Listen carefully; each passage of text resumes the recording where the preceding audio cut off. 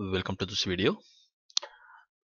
In this session on a cram course uh, for CDCS, we shall have a quick look at the money laundering and terrorist financing aspects related to trade finance and documentary credits.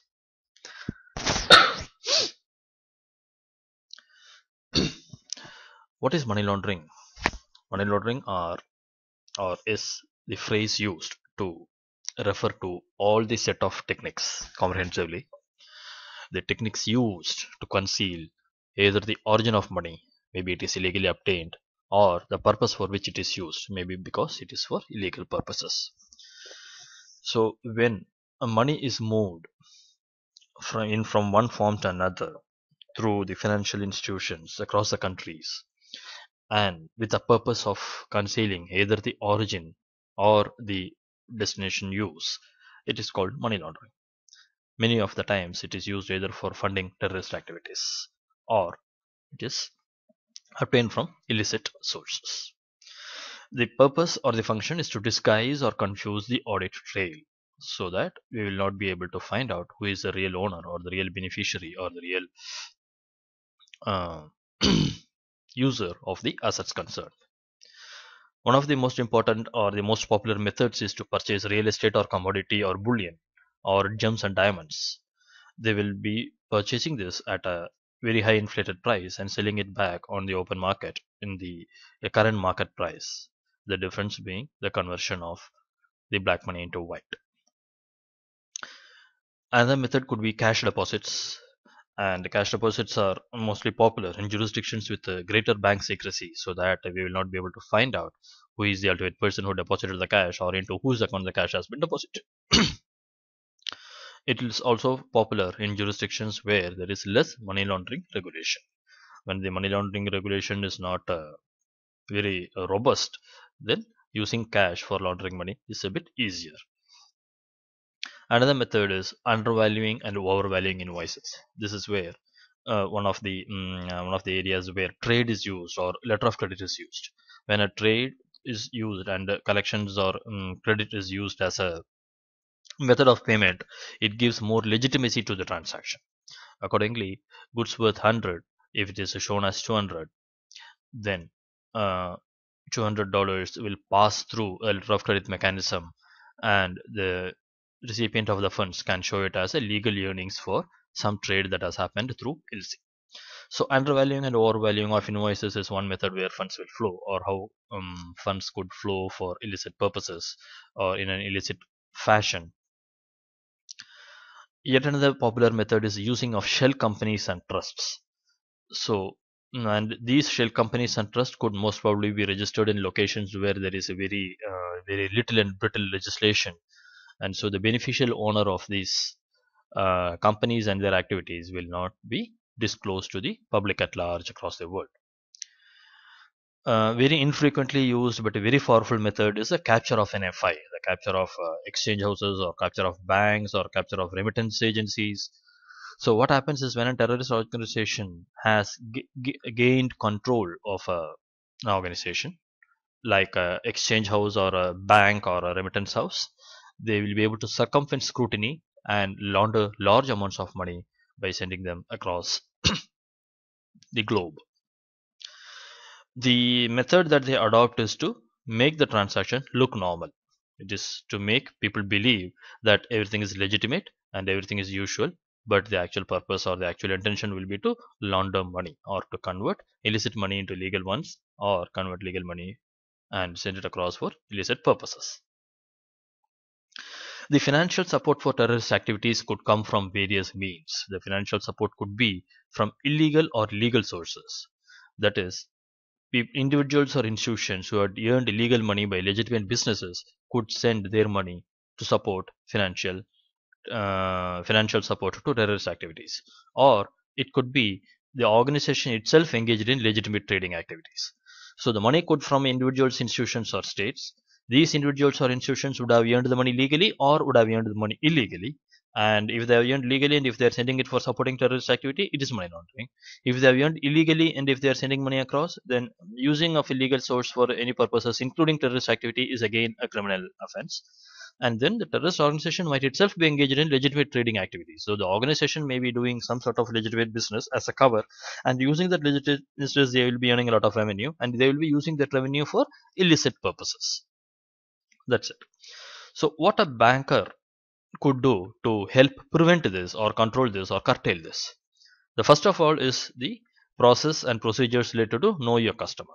The banker should know who is his customer, to which applicant he is opening LC, to which beneficiary is advising LC, to who is confirming the LC, things like that and when it is know that when you know your customer then you have to know their customer know your customer's customer. That is with which counterparty your customer is dealing why he is dealing with this counterparty what is the underlying business of these two parties what is their underlying relationship why they are associated with themselves and how is their business associated with the global trade. So know your customer know your customer's customer know your business and know your customer's business. So these are the important things that a banker could do to try to control and curtail money laundering. These are called the anti-money laundering process or procedure in most of the banks. Now, the banker in his capacity as a trade finance practitioner or a documentary credit examiner will have to also exercise due diligence at both customer level and transaction level. Just because you know your customer and their counterparty does not uh, mean that you have done the um, complete requirements we will have to exercise extra caution at each and every transaction level also to check whether there is an undervaluing or overvaluing of the invoices to check whether the party is dealing with an unknown or unrelated counterparty to check whether the shipment of goods is from or to or through an jurisdiction which is considered as a high risk or irrelevant to the particular goods that is being handled to check whether the parties are um, the parties known to us are in particular locations but addresses given for their purposes is in undisclosed locations. So all these things will have to be the uh, additional um, caution will have to be exercised both at the transaction level as well as the customer level. And we have to understand the nature of the underlying transaction. What trade is happening under this letter of credit? Why is this buying or selling or shipment happening and how it is happening and through where it is happening? The relationship between the parties.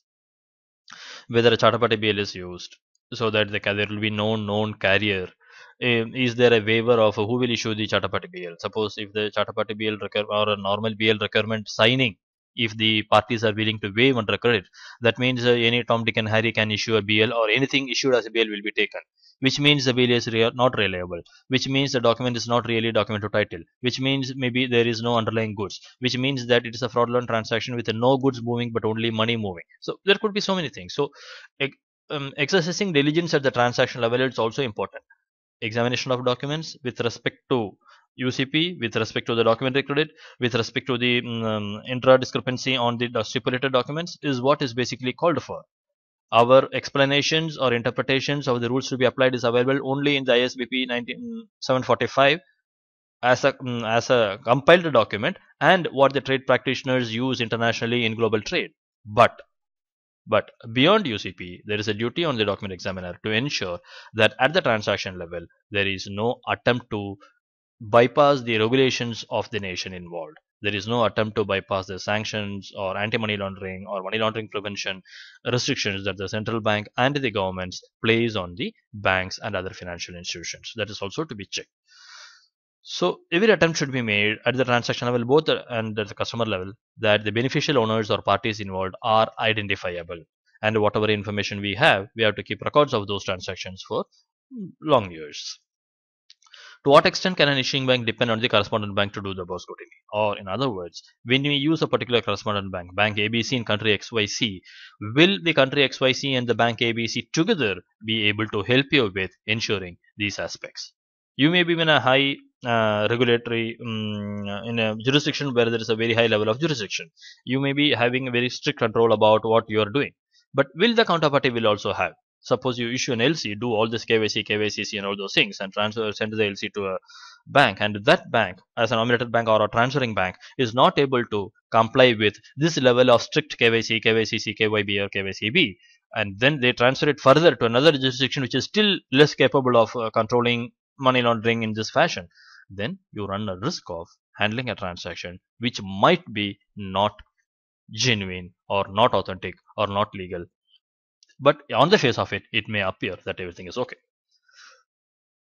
So there are there are certain high risk countries, the countries where the rules to prevent money laundering, the rules to prevent money laundering are insufficiently robust, which means what they are not very strict, which means that they are less regulated, which means that regulation is very fluid and liquid and volatile. And so in those high risk countries, it is possible to have various transactions which could easily facilitate money laundering or which could not prevent terrorist financing the fight against money laundering and fight against terrorism that is called um, CTF counter terrorism financing or uh, AML anti money laundering. There are legislations and regulations in various countries and there are also certain international regulations. So maybe organizations like united nations will issue guidelines to the countries what to do. And there are UN resolutions which has to be complied 100% by all the signatory countries. These are force of law these are called maybe economic sanctions also. And there are certain recommendations issued by FATF, which is called GAFI in uh, French, the Financial Action Task Force. And in 1990 onwards, they had started issuing recommendations to the financial institutions as to how they should conduct themselves to prevent money laundering, especially trade-based or banking transaction-based money laundering, and how we can fight this terrorism financing. Now, national legislation places a personal responsibility on each and individual as well as the institution to report suspicious transaction. It is called STR, suspicious transaction reporting. And there is a financial intelligence unit, FIU, in each central bank. And each central bank is expecting the um, financial institutions and banks in that country to report to them the financial transactions which are considered suspicious, which are considered to be involving either terrorist financing or money laundering. And the responsibility to report these is a personal responsibility on every individual it is an offense. It is an offense to do certain things. Offense to do what are those things?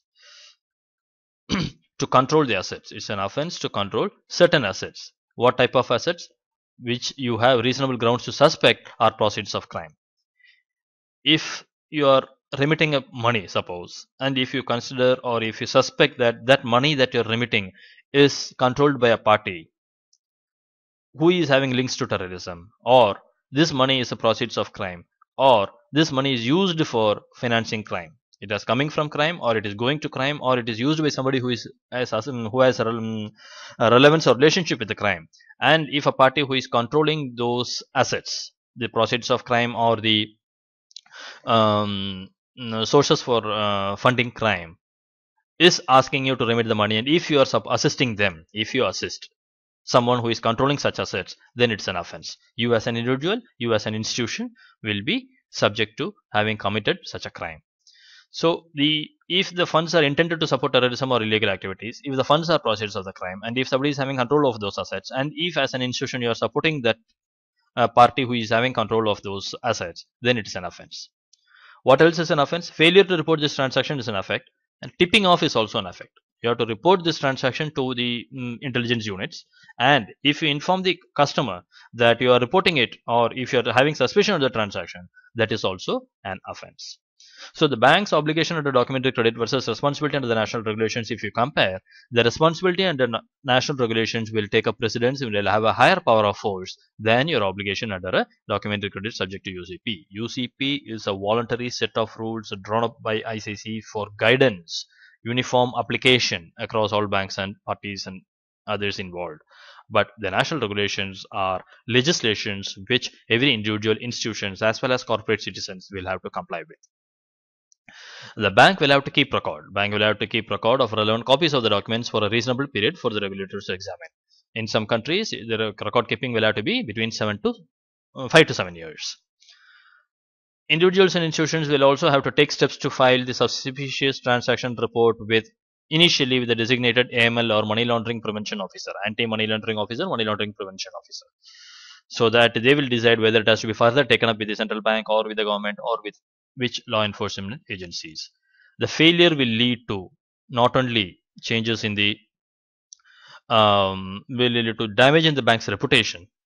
That is okay. You will pay a 500 million penalty to some agency and come out of that. But there will be criminal proceedings against you which as an individual and as an official of the bank you will have to face for not acting as per these regulatory requirements. There are certain economic sanctions and these sanctions are on sometimes on countries on individuals or sometimes on institutions. Now most of these economic sanctions take the, take the form of trade transactions. These sanctions are intended not to permit those countries to benefit from the money from abroad or enable that country to send money abroad uh, some of the examples could be the present day sanctions on North Korea or Iran and things like that, where because the world body, the United Nations, as well as a set of other leading uh, top 5 G5 nations or G10 nations feel that these countries are not cooperating to A. combat international state sponsored terrorism or B. Not willing to put in place uh, mm, uh, regulations or restrictions on the activities of individuals and institutions which are not in the interest of the nation as a whole. Suppose you are developing nuclear weapons. Then, uh, as, a, as a United Nations, the world body feels that you are not cooperating with international agencies.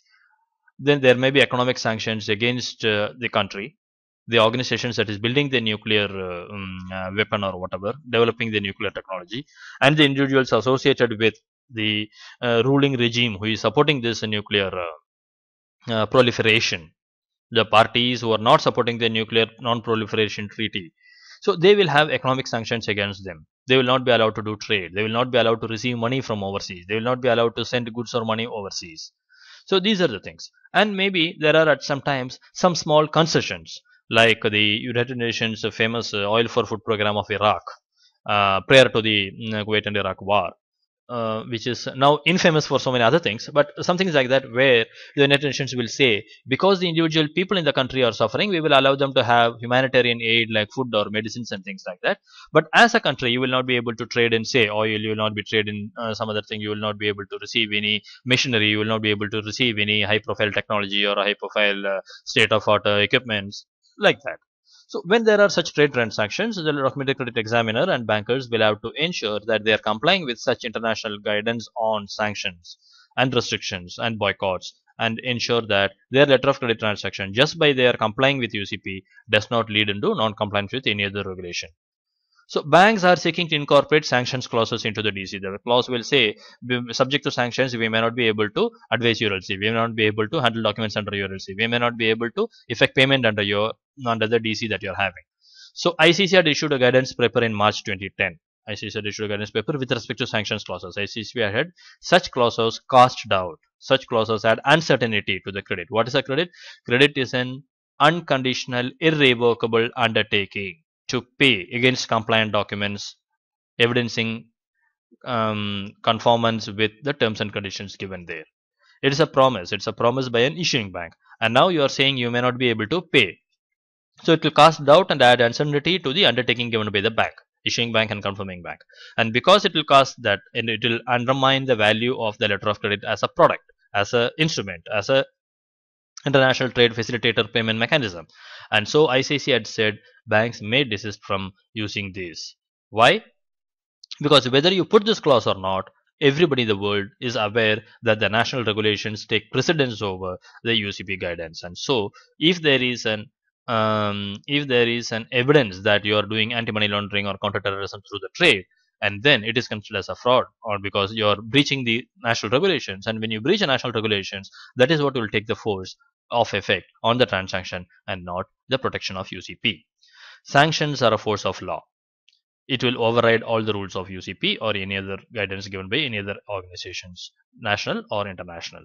Sanctions should not give banks description whether or not to pay. And accordingly, if a transaction is subject to sanction, if you do an AML check and um, or sanctions check, and if you find the entities are associated with it, then you will not handle the transaction further, and you will not help them to realize the proceeds, and you will not be getting any protection under UCP because national regulations are more forceful.